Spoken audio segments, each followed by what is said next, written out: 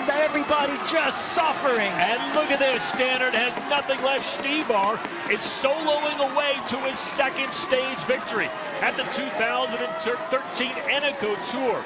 Zdeněk Štybar for Omega Pharma, nearly five hours in the saddle, will win stage seven on the cobblestones. He takes one final look back to Stannard, arms to the heavens. What an incredible race, and now